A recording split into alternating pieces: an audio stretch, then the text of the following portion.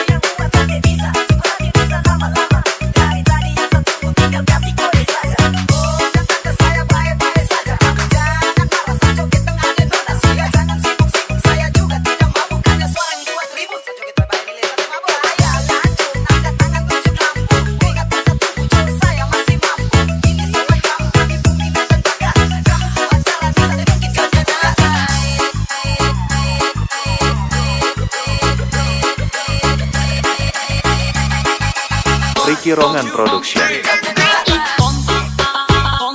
Pati Pati